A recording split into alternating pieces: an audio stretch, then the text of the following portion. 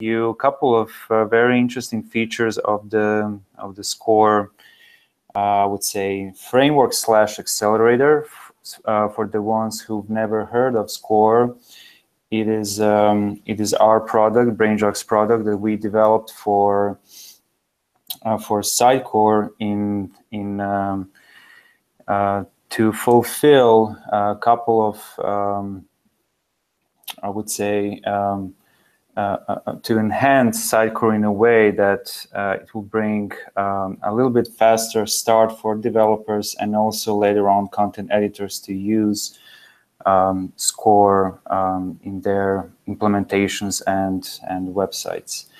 So um, before I dive into the topic of today's presentation, which are the reusable components, um, I would like to tell you a little bit about SCORE and um, how the SCORE actually became what it is today. Uh, the early development that we, when we started SCORE, we began it in the, in the times when Sitecore 6.0 was released. And um, at that time, we wanted to make SCORE um, to help us with uh, our internal development uh, um, streams so it included a reusable API, some of the root templates, a couple of pipelines. Uh, it was um, focused very heavily on page editor first technology. Um, then we started thinking about how to implement multi-tenant support, how to create reusable components. Um, after um, in the when Sitecore 7.2 was released, uh, we started thinking and implementing atomic construction. Uh, we also open source MVC area um, code uh, to Sitecore to consume. And uh, the symposium in 2014, um, we released the version 1.3 with the also training program and solution template with it. Um, at that time, we got our first two sales before the end of the show. Uh, the next release and iteration was the Score 2.0. Uh, we released support for Sitecore um, 8.0. We also um, were first to implement page editor share the final support. In 2.1, we came up with Score CCF, which stands for Score Component Communication Framework, which allows multiple components to communicate with each other. 2.5 uh, brought us uh, brought the community tiles and search uh, capability. And for uh, Score 3.0, which we're targeting for Symposium 2017, we are currently under um, under the development uh, process, and hopefully we will be able to release it around around that time. Um, today, Score is an accelerator and much more than that, um, today's core is not just a website in the box. It provides a complete, uh, very thorough development framework. Uh, it also delivers very lightweight and very extensible architecture for supporting multi-tenancy and having uh, multiple websites deployed to the same Sitecore um, instance. Um, we offer, SCORE offers also very um, um, ease of use for content editors. So it's we are trying to implement what you see is what you get as much as we can in order to get um, content editors to actually see what they are trying to do with uh, compiling and creating the pages. It also supports automation tools. It, um, it eases the learning curve uh, and also removes uh, additional complexity when it comes to uh, both development and the maintenance of the of the final solutions. And at the end, uh, what is important for us developers, it's um, it offers very rich API on both ends, uh, backend and the front end. Um, here are some of the score facts that I would like to share with you. Um, so we support Sitecore versions uh, as a product. Score today Score is a product which we support all the Sitecore versions that are higher than 7. Point, release 7.2. It covered. It is covered with around 1,200 unit tests, uh, with uh, almost 90% of code coverage. Um, Score today is distributed as a three uh, NuGet package uh, product. It contains core, which is a base um, part and contains all the pipelines, events, data templates, um, which can be then used for either extending it or or having it for um, for for usage out of the box from the box. Score UI supports CCF, uh, gives support for CCF, and Score Bootstrap UI um, have um, around 120 components today um, that are built on top of the uh, Twitter Bootstrap. Um, as I said, uh, Score is uh, multi-tenancy friendly, and what uh, what also brings to the table is atomic design concept, which I would like to um, talk just a little bit before we dive into into the demo. Um, one of the aspects of atomic design is to have uh, to editors to have flexibility um, um, to do the content um, management, administration, and also helps with the content authoring experience in general. Um, it brings a clear path um, how to reuse um, renderings, data templates for development teams. Uh, it's very adaptive to any design that you you can you can have in your um, in your um, in your day-to-day -day work. Uh, it's a page editor first approach, and also um, atomic design um, helps um, uh, end users to um, use as much as out, uh, marketing automation features uh, possible. Um, benefits of atomic design is to build first, design later. So very, very often in the projects that are using SCORE, we are trying to run three um, um, three streams simultaneously. So um, content entry, design, our front end um, work with stylings, and also back end development. Um, makes teams a lot more modular.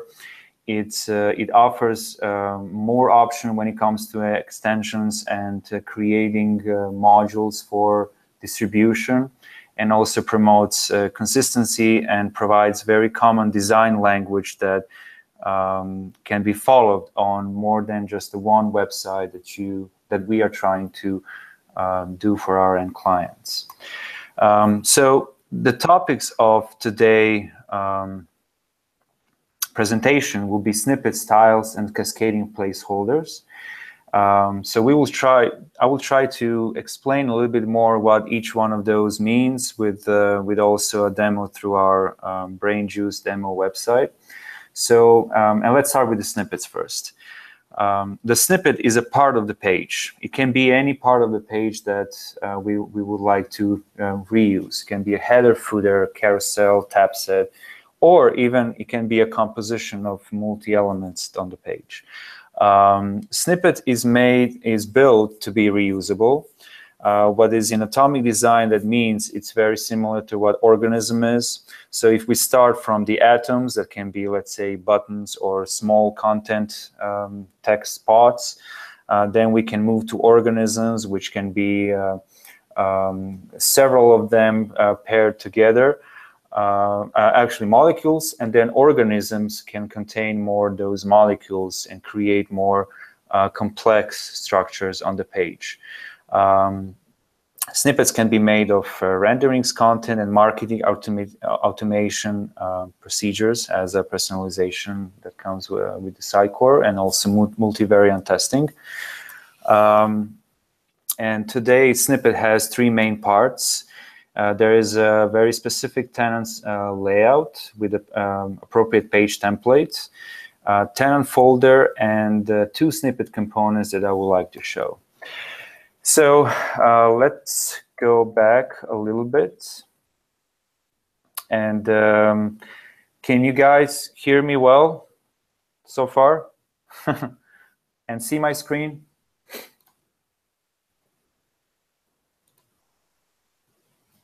I would say yes, no, maybe.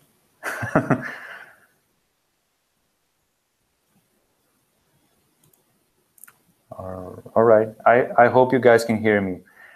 Um,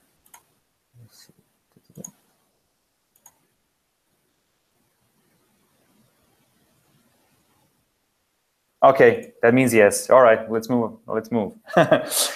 um, all right, so um, this is the page, the website that we um, like to demo. Um, we used uh, Brain Juice on our symposium symposium meetings, and also I'm using Brain Juice to show um, a couple of um, score features that our clients, uh, future clients, like to see.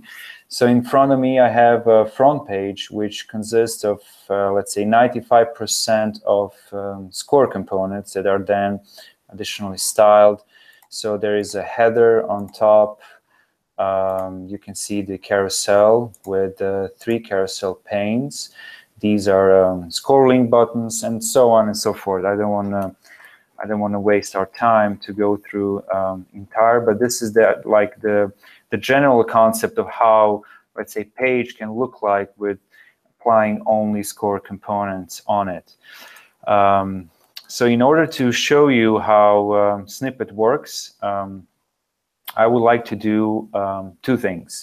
So let's say um, here, um, just right above our panel center text, I would like to create a component um, that's going to be, let's say, two column equal. And in the left side, I want to add a YouTube video. On the right side, the Google Maps component. And then what I want to do, I want to extract the content of that particular um, portion of the page uh, and pronounce it as a snippet. So let me do this. On the left side, let's do YouTube video. Okay. And um, I want to look and search for the video that does have um, Adriana Lima in it. Let's say, why not? Everybody likes Adriana Lima. So let's see what first is gonna show up. So this is also one of the features of the of the score. Um, we created a couple of custom fields, and um, YouTube Picker is one of them. So on the right hand side, I want to create a map. Okay. And look for Florianopolis. I promised Diego that I'm going to visit Florianopolis one day. Maybe this year, who knows? All right.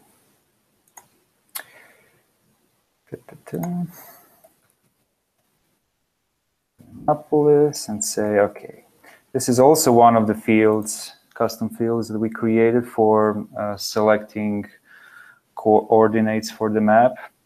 So if I want to preview this page now, see what we did.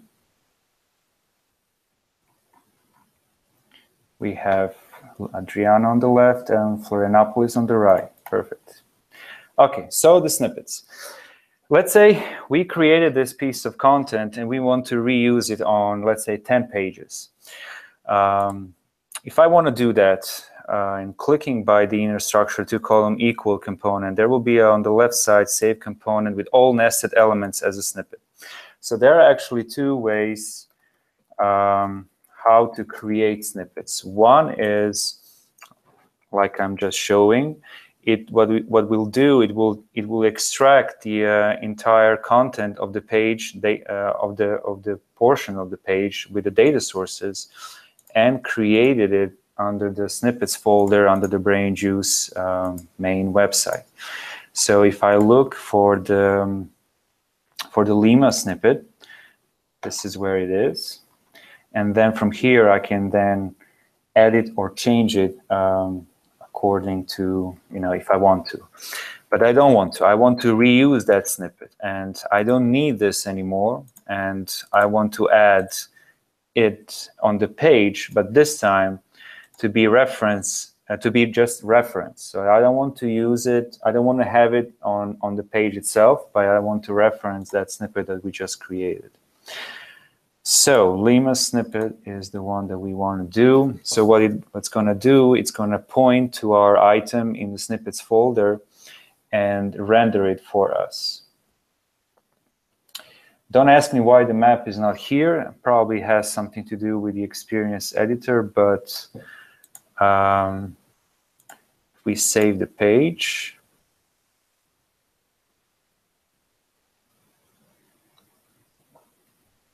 The snippet is being rendered in its own context.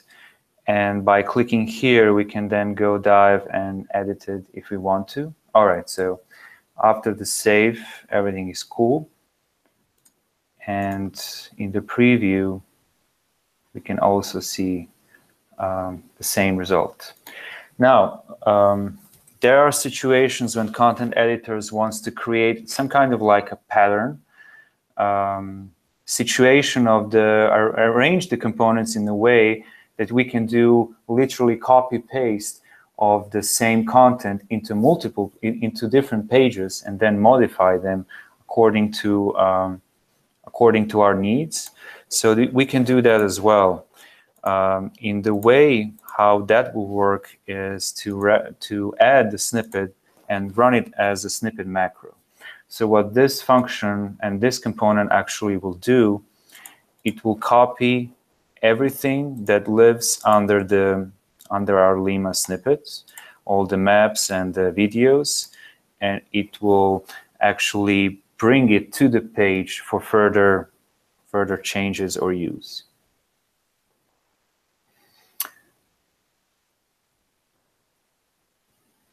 All right save page and leave it as it is.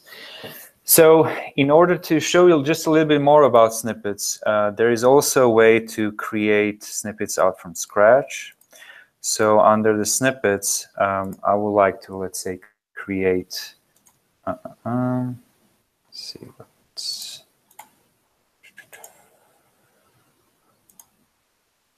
mm -hmm.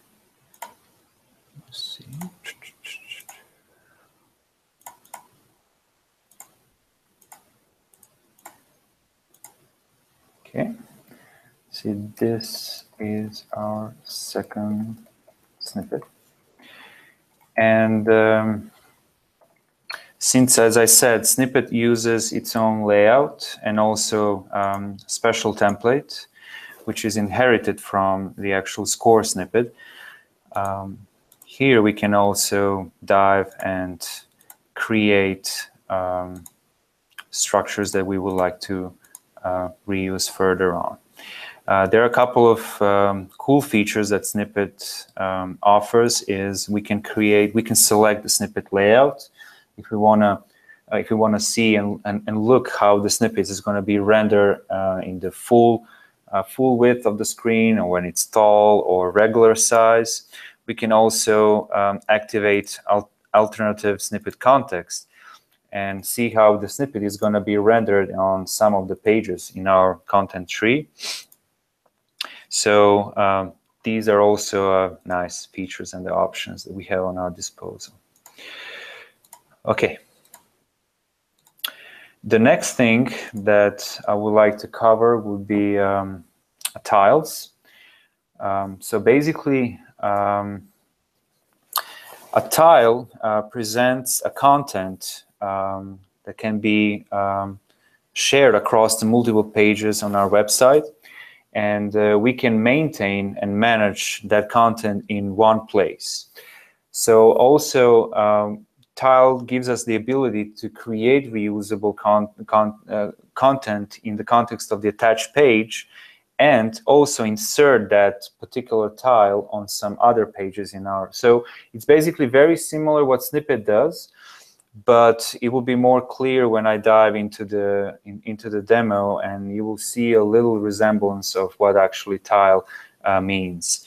Uh, there are three tiles given by default in Score: um, default, autocomplete, and search result. Um, they are actually very self-explanatory. Uh, the autocomplete uh, we use for uh, defining the reusable piece of the content that can be used in the autocomplete dropdown. and the search result is then used for producing the HTML that's going to be pushed to, um, let's say, um, some search, searching index uh, um, and searching index, like Lucene or um, Solr uh, in, in, in, and even Algolia. We've used styles with Algolia in the past.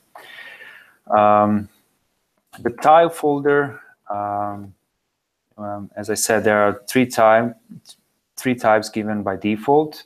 And the type folder is created underneath an item each time when we um, um, add a page or when we add it to the standard fields. Uh, the items are rendered when a tile, uh, tile items are rendered when tile item is added to the page. Um, we can use uh, three types of components to render the certain tile on the page. Featured page tile, page tile link, and page tile uh, title. So let me show you an example on um, how tiles can be very, very useful in, uh, in certain situations. Uh, this is the search page for, um, for the brain juice, uh, which is also constructed by uh, using score components. On the top, we have um, a search input and on the main page, on the right-hand side, there are a list of products that are being rendered. Um, if we click on a quick view, there's going to be um, a portion of the product that we can um, find out a little bit more about it and also um, cycle through a couple of tab sets, uh, which will actually change the image gallery as well. Um, on the left side, there is um, a faceting search score component. And you can see in the certain positions in the, on the page, there are special uh, like feature uh, content items. Now, um, you can you can try to guess that if, let's say, if we navigate to the product itself, uh, this is the product detail page with very similar um, capabilities. Although here we have a little bit more information about the product, but the gallery on the left and uh, and um, selections, um, uh, product selections are still here. Um, each product page in this case uh, have a couple of tiles attached. Um, and I will be showing this shortly. Um, so let's navigate to one of those uh, pages. Let's do, uh, uh, uh let's say, dessert wine Madeira, 2010. So the product page in this case have its product variations, some of the attributes, images, um, but we, we're going to be focused uh, not just on the content, which is the product detail page, but the part that goes on the top, which says view tiles. Um, here we can see those three tiles that we uh, would like to use in our case. Autocomplete, this is a quick view tile, which we show um, each time when we click on the quick view. And also there is a search result tile, which has um, a product, um, how it's going to look like when we pull the search out. So through here, we can add more tiles. We can edit the existing tiles in the same way as any other score component. So this is the, um, the image. There is a product flag component. Uh, this is a product tile quick product title and product tier. We can also, if we want, we can go ahead and add um, an other renderings to the to the to the tile set, and uh, what it's essentially tile at the end is is is a snippet. Now the difference between tiles and the snippets is that um, with having um, having tiles organized on the pages, we can we can easily extract its content and uh, deliver them to either maybe some kind of third party uh, consumer, or in, in the case in the brain on the brain juice, brain juice, we can have them displayed uh, on uh, on other portions of the pages programmatically. So each of these results are actually coming from uh, Lucene index uh, with the HTML added as uh, one as one of the of the fields. Okay, I hope hope it makes sense so far. Um, and um, I will stop here and just ask uh, if you if you guys have any questions so far, or should I should I move forward? No questions here. Uh, online, just checking online to see if anyone online has any questions. Just a second, Ivan. Okay.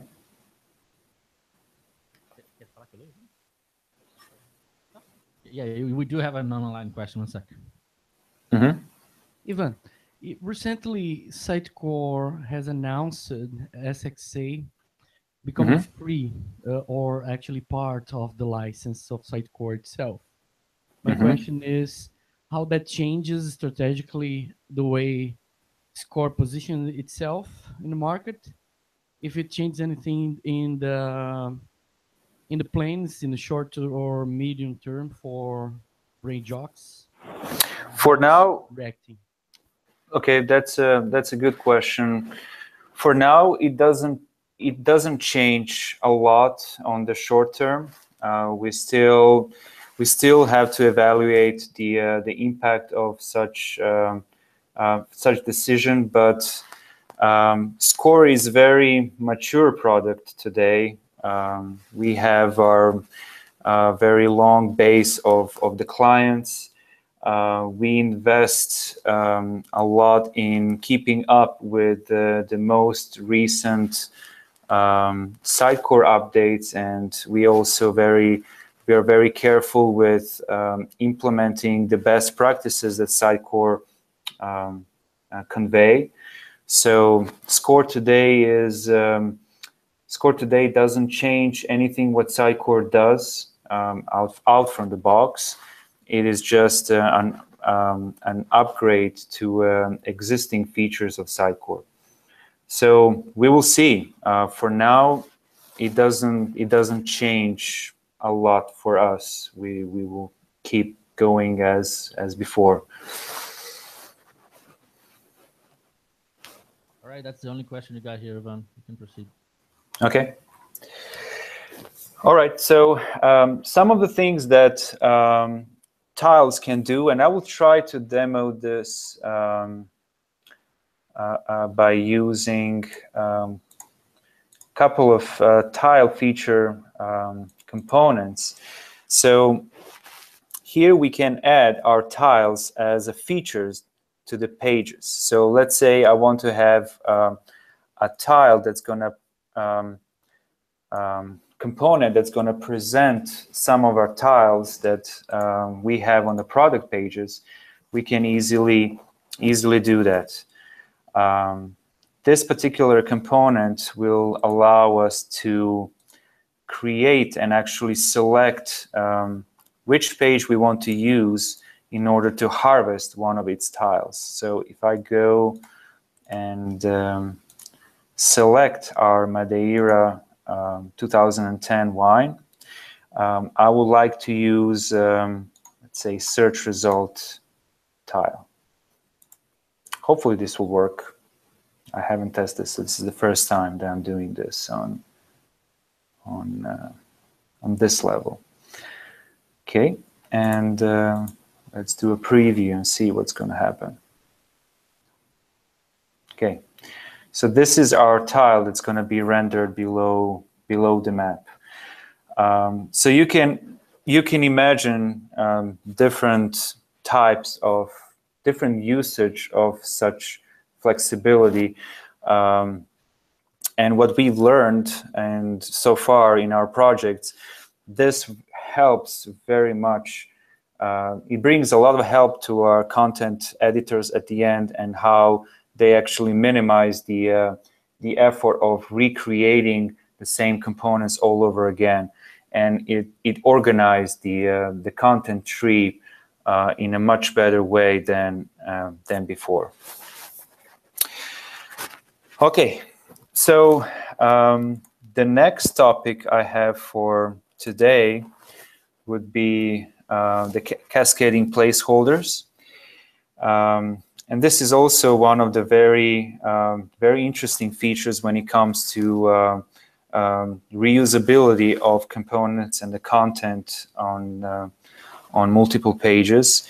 Um, this feature what actually allows our editors to push placeholder content down the site hierarchy. It means that we can select um, a certain portion of the page and uh, which is the actual placeholder and make it cascadable. It means that every single page item that lives under the, the under that page will collect the content from that um, uh, placeholder. Um, receiving pages can still add content to that same placeholder uh, above cascaded elements. And what you can do also, you can recascade placeholders, which is also a very, very interesting feature to do. Um, for now, cascading is not supported on standard values uh, because of the obvious reasons. Um, maybe in future we will tackle that as well, but um, for now, um, my next my next actual um,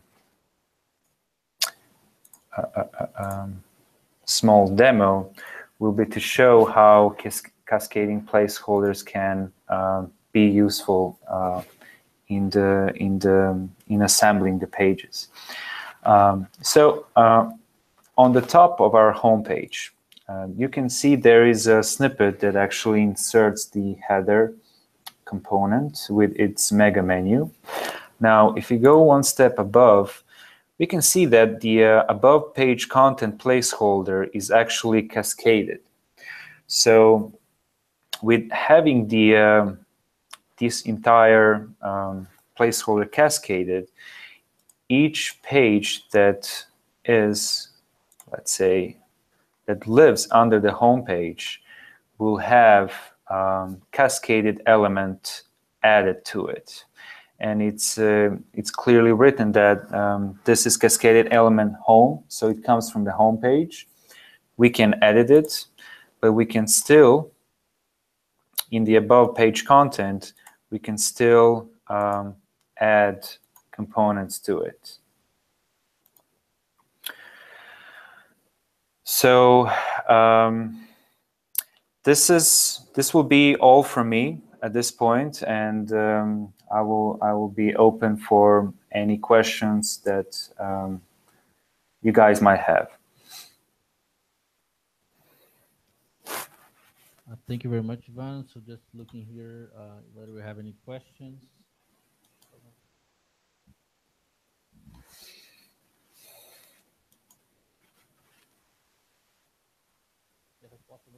Uh, his, uh, one question that we got here, Ivan, mm -hmm. whether this supports the Helix, um, you know, best practices. So we today we work with a client that um, that created their enterprise layer based on the Helix best, best practices. So my answer is yes. There is no there is no limitation on how you want to how you want to use Score at the end. Um, as I said, um, Score is um, um distributed through um, three NuGet packages, and it means that you can very easily create your your CI environment if needed, and and have it as a part of your of your end end project in whichever way you want to construct it. So um, same same goes with uh, with using Score with um, any let's say um, different ways of uh, let's say SASS. You can use Sass or less, or you can um, you can use um, a, a, knockout. You can use Angular with it. You can. Um, I I personally did both on, on, on together with Score components. Uh, we we haven't got across of situation when we had to say, oh, you know what, in this particular example, you and project, you cannot use Score. Um, there are certain dependencies. For example, um, in order to make, um, in order to to have score to score components to work, uh, they require uh, RequireJS. For example, we use um, match height as one of the libraries to uh, um, to match the height of the uh, of the boxes uh, uh, in the product, and um, I cannot think of any any other like requirement that that, that is today um, that you have to follow, but we keep we keep score to be very simple, extend, extendable, and uh, easy to use for for both ends, developers and end users. Um, hey, Ivan, uh, Vinicius here. Uh, I have a question mm -hmm. regarding for content authors. Um, do you have any, um, I don't know, maybe how well uh, the, the brain score uh, improves the life for content authors? So do you mean like the live examples of the websites built with score or just like um, in general how how it improves their their everyday life? Yeah, in general. So um, there are two, I, I, like to think about people who are using Sitecore. I, I like to think of them in two different groups. The ones that are used to um, content entry approach, uh, to build everything uh, um, in a very old-fashioned way, so that it, you know you you have to follow certain rules, you have to follow certain uh, methodology of how you want to add renderings, how you know do things manually uh, uh, throughout the uh, um, rendering um, view, and then you have um, users who who did some work or content entry in the experience editor mode. Um, we we treat approach each of those groups equally at the start. So um, every person who um, um, is going to use Score at the end, they go through our training in order to um, adopt the methodology and the whole principle of how to, you know, how to name the highlight, how to name uh, data sources, wait, where to store data sources, what are the options that you have. For example, green folders for local content, red folders for uh, multi-websites, you know, blue folders for sharing it across the uh, uh, uh, uh um, page items under the same site teach them how to um, how to uh, um, assemble the content, and uh, it's it's a learning curve. Uh, at first, they um, there are a lot of um, things you you have to understand of you know how page layouts are uh, uh, what can you do with page layouts? What, how how to nest inner uh, structurals? Which components have uh, which rendering parameters that you can use. So um, it all it, it, it, depends a lot of, on experience, previous experience and exposure to Sitecore in general. And then uh, we just you know upgrade them to the level uh, that they are comfortable with using Score. We haven't had uh, problems with um, with teaching our clients how to use it uh, but it's it can it can vary from you know couple of week from one week or a couple of weeks depending on the depending on the case so Ivan, we got another question here. I'll, I'll be asking on behalf of Edico here. So essentially, he mm -hmm. what he's trying to figure out is whether snippets support personalization, just like you know, Sitecore out of the box when you're working. Yes. Answer is yeah. Answer is yes. Yeah. Like any other component. Yep. Okay. Uh, one more. Uh, for the developer perspective, what kind of uh, this this score, for instance, has provides a, a model for solutions uh, imposes uh, any kind of um, architecture pattern, and what kind of tools uh, does it provide to the the developer himself? I'll give Mhm. some examples. For instance, code generation, extensions. What kind of Mhm. things to improve to to easy the day by day life of a developer? Does Okay. So um, with each new project, I I hope you guys see my screen now because I switched to the uh, my virtual machine. This is the example for. Sorry, Yes? Can you, can you just zoom in a little bit? Oh, I can try. That's gonna be. All right. Let me see. Um, Work, then we'll try with that one. okay.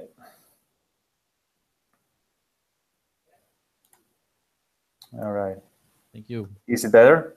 Yep. Okay.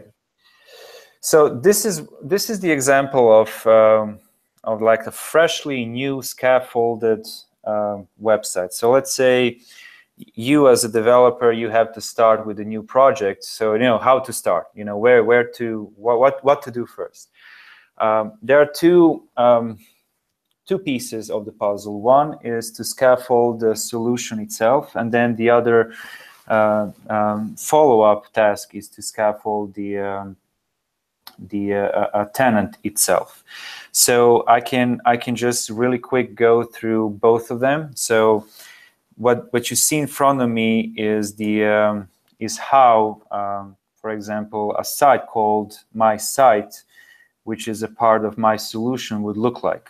So there are like four or five parameters that you enter, and what what the process is going to do for you, it's going to create um, couple of class libraries, TDS uh, projects, and also the, the web solution. And you can see the areas part where uh, the My site then will have its own part where you're going to start creating controllers. There will be a, a Sass folder with uh, with adding um, your definitions. It's going to also contain Bootstrap um, Sass files for any kind of modification that you want to do along the way.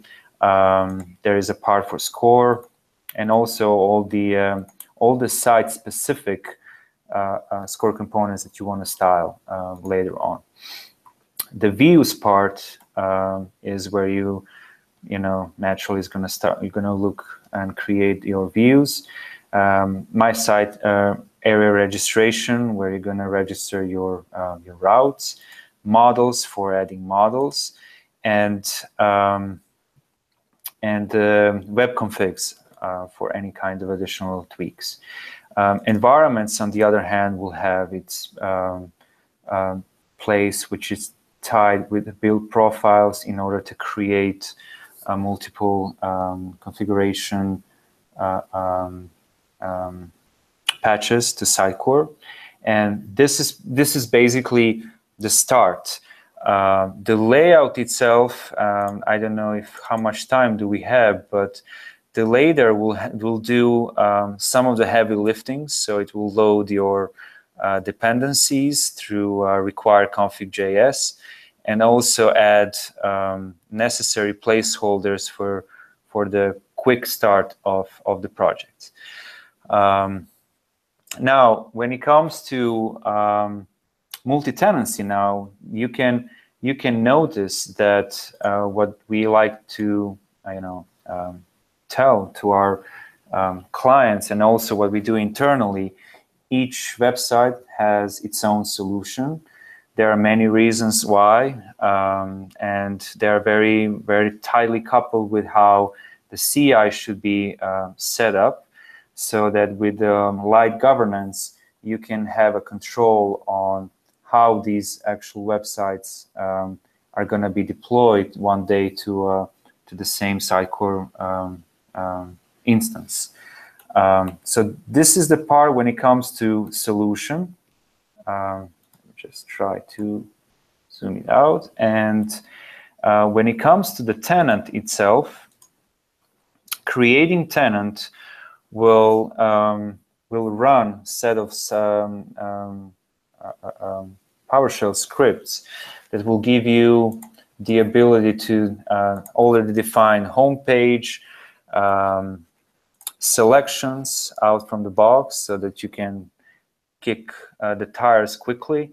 A couple of uh, colors and uh, styles for, for us to modify. And also, um, it will create some of the necessary parts in the in the layouts for the renderings, models. So uh, once you synchronize back your um, your tenant that we just created, and it's very easy thing to do. Actually, there is uh, a new site score um, tenant option that will do this all for you. You will synchronize it back to your project, and you're ready to go.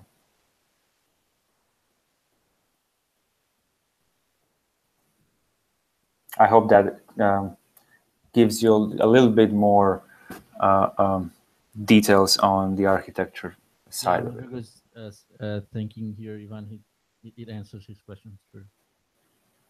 Uh, any other questions? Okay. Online. Right, no questions online. So Okay.